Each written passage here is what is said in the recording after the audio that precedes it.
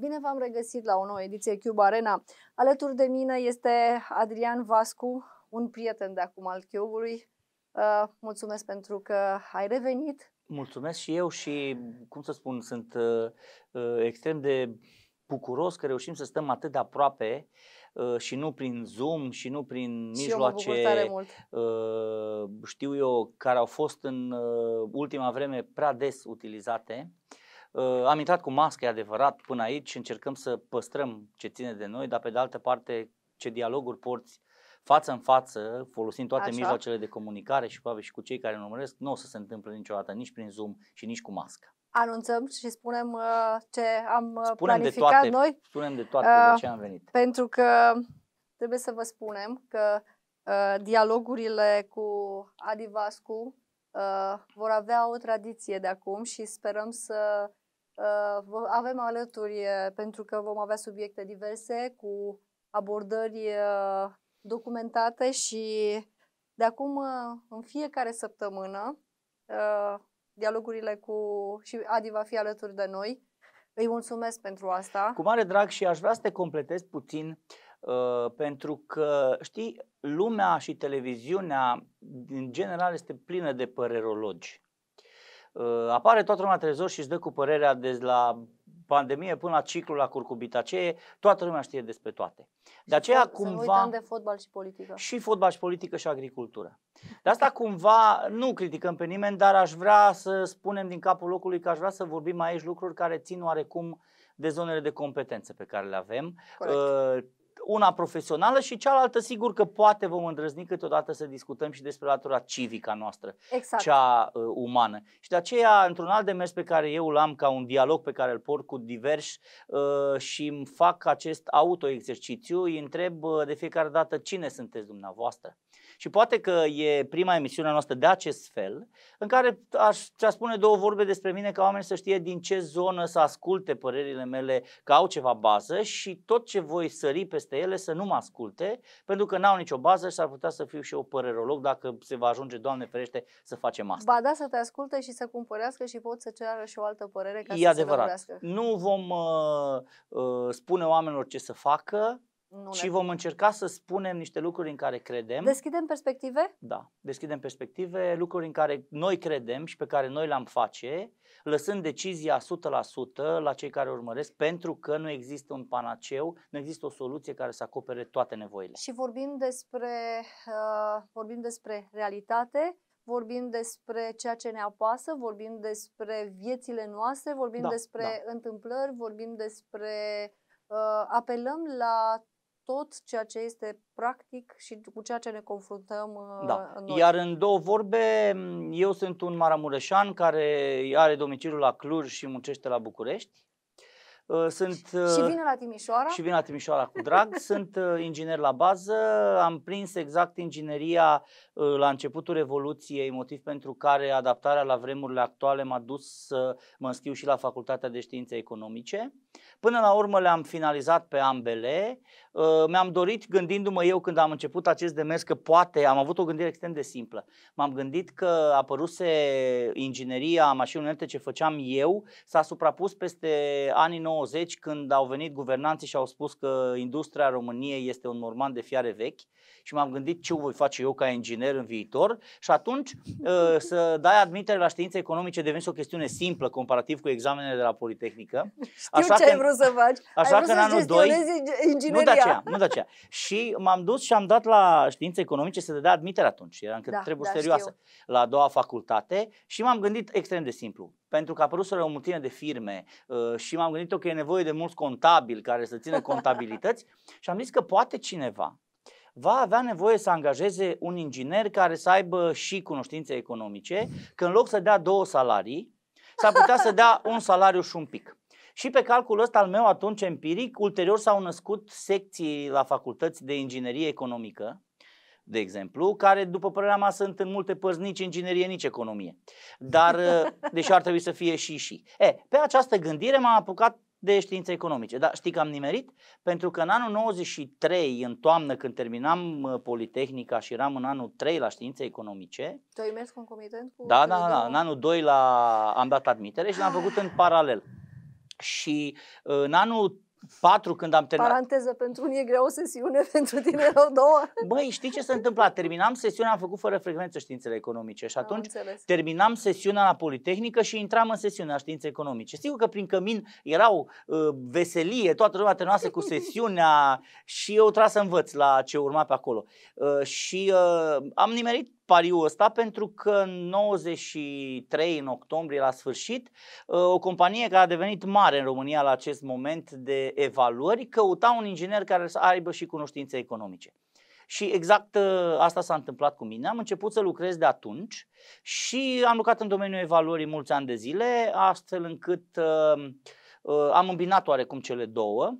Am mers mai departe și, mă rog, ne-am dezvoltat ca firmă, după care în partea profesională, în Asociația Națională a Evaluatorilor din România, am avut două mandate de președinte până în prezent. Trebuie să spunem că ești senior partner la Da, și uh, de, am plecat de la uh, firma Darian, trebuie să-i spun numele, că sunt mândru că am făcut parte din uh, uh acea echipă pe de-o parte și le sunt recunoscător că rădăcina evoluției uh, mele ulterioare a fost acolo. De acolo am plecat într-o multinațională în KPMG am coordonat de, departamentul de evaluări, am învățat alte lucruri, am văzut business-ul și din altă, din altă perspectivă, business-ul de consultanță, ă, după care din 2015 împreună cu niște oameni mai harnici și mai inteligenți decât mine, am fondat Veridio, compania în care lucrăm în prezent și în care aș putea spune că am, uh, folosim cam tot ce am învățat bun în toți acești uh, ani. Prin 2012 am finalizat și teza de doctorat, am început-o prin 2005 pe o temă a, legată de evaluare, evident. În, uh, am făcut la ASE București doctoratul. Este neplagiat în 100%. E și publică teza mea. N-am putea să te găsim cu ceva. Da, puteți, puteți. Este pe aplicația mobilă despre care noi da, da. vorbeam. Da. Am o aplicație mobilă cu numele meu în care am pus acolo parte din lucrurile pe care eu le fac. Este și deci teza. poate fi verificată da, oricând. Da, da, da, da. Sigur, e la legată de domeniul evaluării. S-a numit alocarea valorii companiilor din domeniul turismului. Și te-a costat uh, un doctorat. Uh, da. Ai muncit la ea și te-a costat un doctorat. Da, uh, în esență, pentru cei care ne urmăresc, de fapt, în momentul în care tu registrezi în contabilitate activele unei companii din turism, terenul este la teren, clădirea este la clădire, echipamentele sunt la echipamente, fiecare în căsuțele lor. Dar tu când evaluezi un asemenea ansamblu, le evaluezi ca funcțional și ca business. E, operațiunea asta care se mai aseamănă cu operațiunea de divorț,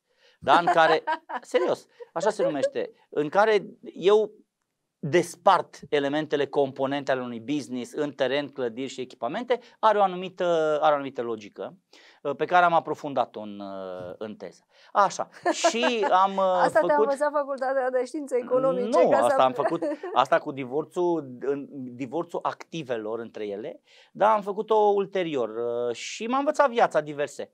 Am după aceea deci am continuat pe această linie cu evaluările. Am avut experiența și cumva privilegiu fiind de două ori în mandat de președinte la Asociația Națională a Evaluatorilor. Am avut contact și ce înseamnă partea de ONG și a vedea breslele din interiorul lor.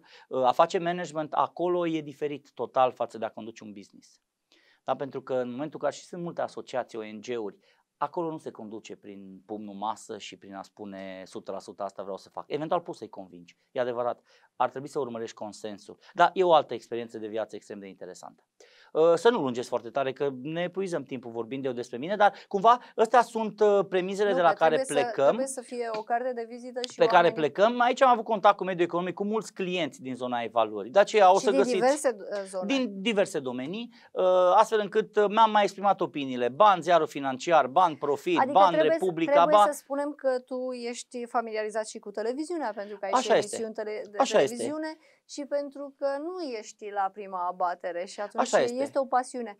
Uh, toate abaterile... și spre jurnalism, așa Da, că... toate abaterile mele sunt uh, uh, din, uh, din scopul de... Îmi place să vorbesc. Uh, eu de mic, uh, cumva, din prin clasa 5-a, 6-a, tatăl meu era dascăl de muzică, am învățat să cânt la vioară. Asta voiam să spun eu, la nu mă Nu că sunt legate, nu sunt lăsat. legate, știi? Și am învățat să cânt la vioară cât de cât puțin. Dar vioara e un instrument greu foarte greu, necesită multă muncă și atunci am trecut uh, Casa Pionierilor pe vremea aia, era mult mai mult decât Clubul Elevilor astăzi, cred eu, ca seriozitate. Și poate e adevărat să fiu extrem de corect. Facebook-ul meu nu funcționa pe vremea aia, nici, nici Instagram-ul, nici televizorul, nici radio nici telefonul mobil. Și atunci prea multe n-aveam de făcut, dar am pus pasiune în... și am început să cântăm noi acolo. Am cântat la chitară, am mai făcut noi o trupă, am mai cântat în Cântă tabere. Și acum la chitară. Așa este. Dar ce am vrut să spun cu asta? Că mă obișnuisem atunci cu publicul. Da, cântam în tabere, nu știu ce. Faptul că ulterior am început să vorbesc Ai la început să conferințe, gustul. uh, nu aveam niciun soi de supărare pe, sau un soi de trac pe povestea asta, că mă lovisem de ea. E adevărat că arc în timp m-am întâlnit cu Timișoreanu Vlad Ignejevici, care mi este un foarte drag prieten în prezent, căruia i-am spus, băi, eu când fost tânăr am cântat, uh, știu eu, niște melodii folk prin studenție și Vlad a zis, bun, dar hai să le punem pe un disc, să rămână într-un fel acolo. Uh, sigur, nu a fost făcut comercial sau l-am pus pe un disc, după care m-am mirat și eu de ce a ieșit, pentru că dintr-o, știu eu, a cântat ceva tu cu chitara pus într-o armonie uh, de un profesionist un altfel, după, ce- după care am cântat și împreună într-un live două, după care am pus pe Spotify cântecele. Cert este că e o viață a mea care are și această latură în prezent, Compune. da, mai cânt câte un cântec din când în când și Compune. uh, e că am fost întrebat ce se întâmplă cu zonele astea, cum sunt ele, dacă nu, sunt, uh, nu se încurcă una pe cealaltă. Uh, nu că nu se încurcă, se ajută foarte tare una pe cealaltă. Adică uh, ai nevoie, că până la urmă noi toți și viața asta este energie. Și ai nevoie de energie, cum mașina au nevoie de benzină, ai nevoie de energie să funcționezi, să te menții. E, uh, ele și cred că toți, mulți dintre cei care ne urmăresc au pasiunile lor. Sfatul meu, că atâta vreme cât mi-a admis cumva să dau eu sfaturi, este să ne folosim pasiunile și să trăim uh, fiecare uh, clipă la intensitatea Și e maximă. vorba de acea satisfacție pe care o ai că faci ceva și pentru Categoric, tine. Nu trebuie să categoric. renunțăm la asta. Știi cum e? Că faci pentru tine, în momentul în care vorbim astăzi, facem pentru noi lucrurile astea, dar poate, poate. Și cei care ne urmăresc, dacă găsesc ceva în ele că este util, să le ia să facă ce vor cu ele și să transmită mai departe, că până la urmă cred în acest, uh, cred în acest lanț. Eu că poate întreabă unii, nu știu dacă întreabă cineva, dar spun eu neîntrebat. Am ajuns la 50 de ani, văd lucru anul acesta.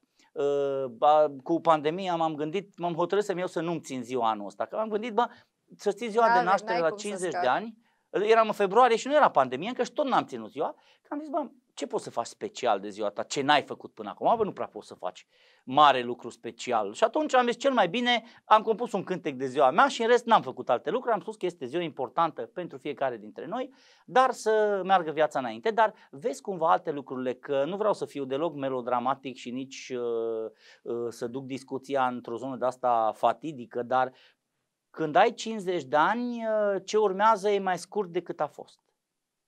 Din perspectiva, sigur, statistică și așa mai departe, dar și din perspectiva, am aici o deformație profesională ca evaluator, și din perspectiva, și din, Inginerească. da, și din perspectiva utilității tale ca persoană.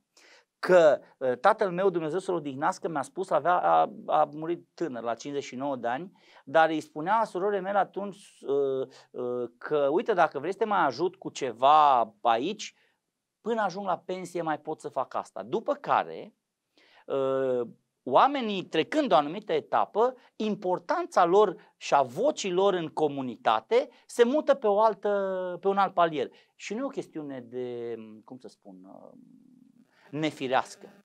Știi? Noi vorbeam de mașini și de pasiunea noastră de a conduce. Am uh, făcut o schimbare de registru, să zicem, și am văzut o perioadă o mașină un pic mai mare, un ăsta, uh, transporter. E, în momentul în care te duci cu el față de mașina mică dinainte, se întâmplă următorul lucru. Vezi că nu poți să depășești atât de repede, că sunt mașini mai uh, fâșnețe decât a ta și atunci, chiar dacă nu-ți vine, va trebui să tragi pe banda a doua. Sau îți folosești inteligența și îl lași pe el să-ți, con- să-și consume inte- uh, energia și tu cu înțelepciunea dată de vârstă poți să depășești atunci Am când înțeles, trebuie. dar în același moment, oricum te tragi pe dreapta. Ce am conștientizat eu atunci? Am conștientizat faptul că așa se întâmplă și în viață. Că la un moment dat trebuie să înțelegi că trebuie să mergi mai pe dreapta. Oricât îți este, că spiritul rămâne la fel, tu te-ai duce la fel. Înțelegi? Ești același, doar că nu te ajută și dai seama, dimensiunile sunt mai mari, uh, demarajul e diferit și atunci locul tău e puțin mai pe Dar e dreapta. opțiunea ta să-ți iei mașină din aia, poți să-ți iei. Nu că exercițiul ăsta de a-l face, uh, a, mi-a imaginat foarte bine opțiunea când caroseria noastră va ajunge să fie din ce în ce mai mare, adică mai puțin mobilă și acolo nu mai e opțiune.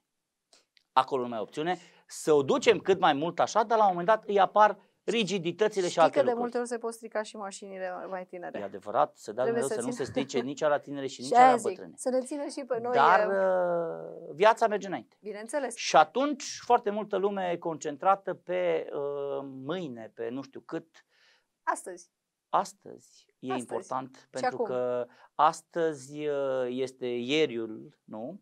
Uh, și uh, e extrem de important, în, sau cel puțin din punctul meu de vedere, multă vreme, cred că și eu și mulți alții, am amânat momentul bucuriei. Am spus, nu acum, mai facem, dar va veni. Bă, când vine, e dezamăgitor, pentru că așteptarea e atât de mare, încât ceva îi lipsește. Dar de ce așteptăm? E o formă de construcție, poate nu toată lumea face la fel, dar în general amânăm uh, anumite lucruri, uh, nu acum, las că mai fac și asta, dar după aceea când va veni, va veni din plin. Eu nu mai sunt adeptul acelei uh, strategii, Hai sunt să- adeptul uh, bucură-te, fă la maxim la potențialul pe care îl ai, uh, ceea ce ai de făcut. Și atunci închei cu asta prezentarea mea, cam uh, în această zonă, din zona economică a consultat. Și mai este un lucru important, uh, e o activitate foarte dragă mie ce fac aici cu tine, e o părticică E, din asta timpul vreau să meu, spun. dar viața mea sau ceea ce eu fac și de unde trăiesc e din activitatea concretă de evaluare, de consultanță, de, consultanță, de dezvoltare care mă specialist. întâlnesc cu oamenii, cu mediul economic și ceea ce încerc să spun aici este ceea ce întâlnesc în viața de zi cu zi. Foarte Da, te puțin voi întâlnești vorbi cu din fenomene cărți și din civice, teorii. Cu Da, tot ceea da, ce da. înseamnă.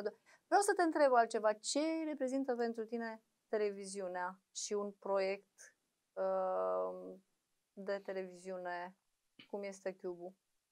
Reprezintă foarte mult. Ce m-a atras foarte tare aici este faptul că uh, ne-am suprapus peste această idee, această chestiune extrem de importantă a altruismului, a veni înspre oameni cu niște informații cât se poate de veridice, de la niște oameni simpli, cum sunt eu și mulți alții. Eu cred că sunt Și- mulți oameni ca mine în țara asta. N-a spus accentul pe mari personalități care sunt, ci a ajunge oameni normali, să vorbească cu oameni normali despre uh, Normalitate. normalitate, Este evident, firesc. și uh, Dar ce pe de mai altă- place este că încercăm să discutăm într-o notă optimistă. Uh, viața are de toate. Și să construim. Să construim și să, dacă vrei, uh, să ținem vibrația a ceea ce discutăm la un nivel sus. N-aș vrea să coborâm în uh, conflicte, în. uh, Eu știu că De ce ele am sunt. face-o? De ce Știi de ce am face-o? pentru- Îți spun ca să eu. fim Am ca făcut eu un ceilalți? curs la un moment dat numit de leadership creativ și acolo unul, una dintre uh, teme a fost uh, vorbirea în public și uh, scrierea și se vorbea despre știri. Iar știrea perfectă, știrea perfectă, dacă o luai după caracteristicile ei, care să aibă impact, care să aibă emoție, Da. care să aibă... Era Ca de manual. cel mai mare dezastru posibil. Tsunamiul, ce vrei tu, era știrea perfectă. De asta nu mă mir. Dar știi că școala de presă, de bază, a, alea sunt tot ce s-a adăugat după, urte- ulterior în studii. Dar, de fapt, știrea trebuie să respecte, sau informația trebuie să aibă o structură uh, logică, uh, temporală și de uh, să răspundă la acele întrebări uh, specifice și ulterior s-a adăugat uh, conținutul. Ce are impact asupra populației?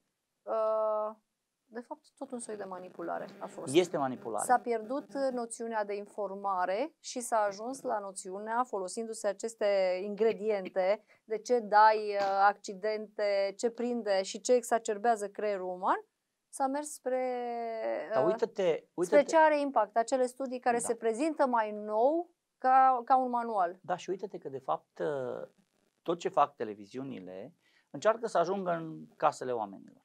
Oamenii se uită mai puțin la televizor, iar acum când vezi în lista ta de canale 130 și 150 de posturi de televiziune, plus altele de filme, nu mai știi la ce să te uiți. Prin urmare, complicat acum să ai un singur post preferat. Te uiți și... Corect. De aceea uh, lumea trece de pe un canal pe altul, televiziunea este imagine, da? Da. mai mult decât uh, mesaj. E important. Noi încercăm să transmitem aici un mesaj. Dar mi s-a spus, de exemplu, că o emisiune de televiziune este uh, interesantă dacă o poți urmări fără sonor. Deci dacă atâta vreme cât ai oprit sonorul și te mai uiți la ce se întâmplă acolo, dacă nu e fotbal, evident, da? Înțelegi? și când vorbesc doi oameni, e destul de greu să te mai uiți. Ceva va trebui să meargă și dincolo de sticlă. Dar uh, nevoia de a ajunge totuși informația a mutat televiziunile segmentate în zona de social media. Iar zona de social media a devenit un business la momentul ăsta care vânează like-uri, share-uri și alte lucruri. De aceea s-a mers un pas mai jos, după părerea mea, și văd o mulțime de titluri șoc.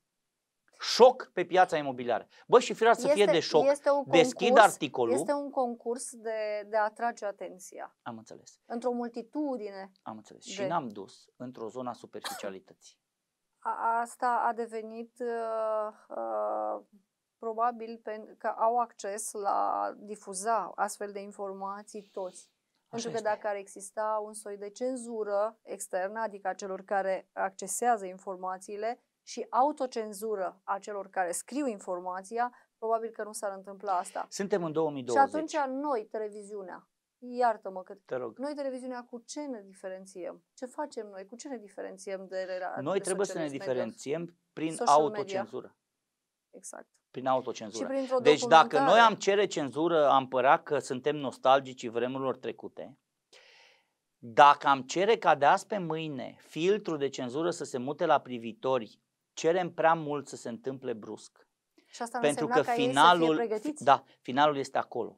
Educarea celui care se uită și care spune this is fake, this is not, asta mă interesează, asta nu, se va face în timp. Dacă mai învățăm în școală, dacă alte lucruri. Ce poți să faci tu ca televiziune astăzi este să ieși în întâmpinarea lor și să oprești fake-urile, să oprești șoc și groază, a mai murit nu știu cine.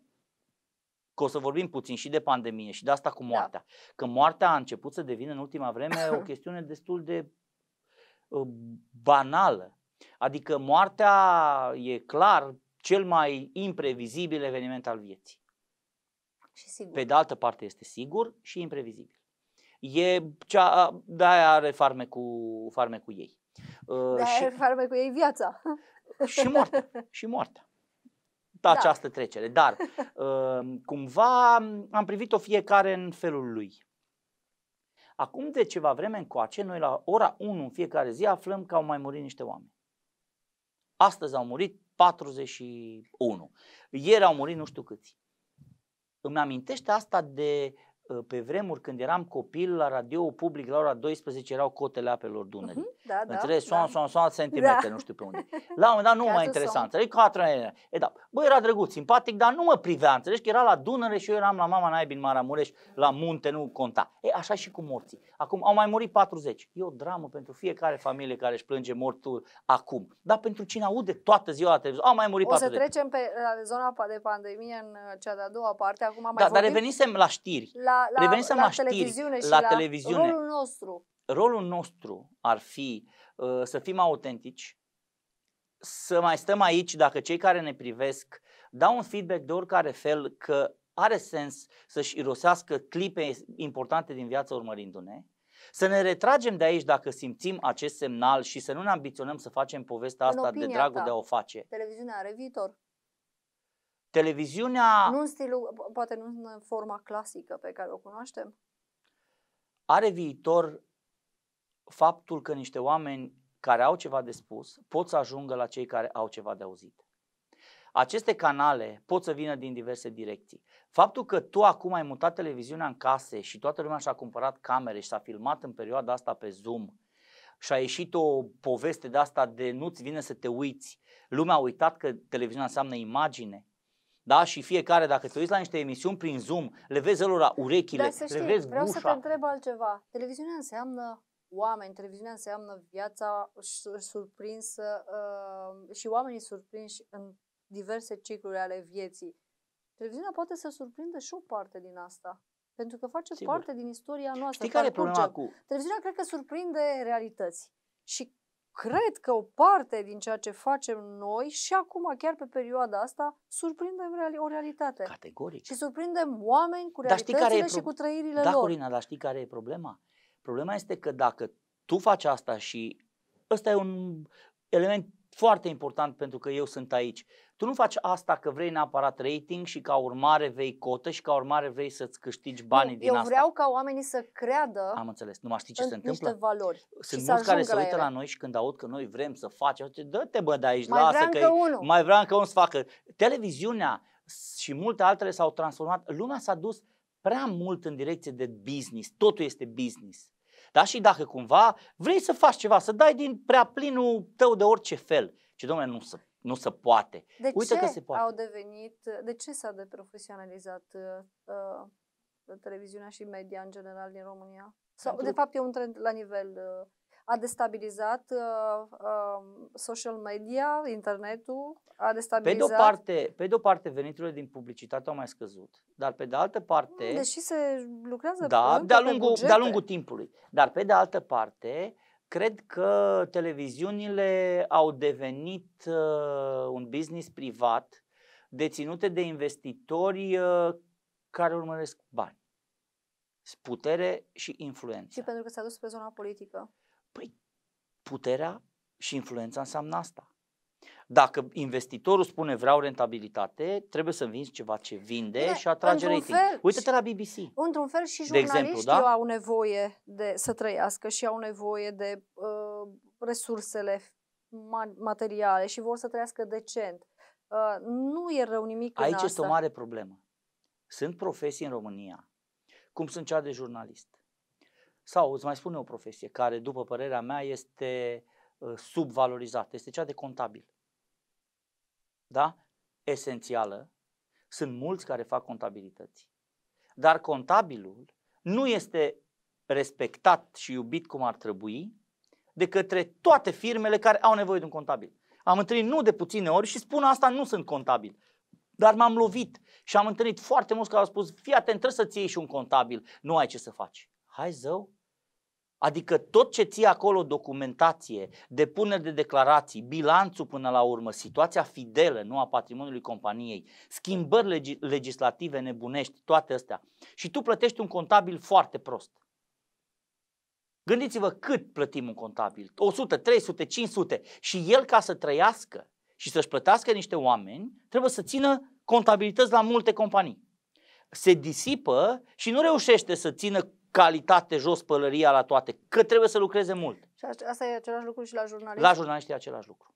Și ci- știi care e riscul cel mai mare? Încă la contabil nu se întâmplă că totuși ei fac o facultate pe chestiunea asta. Scade calitatea.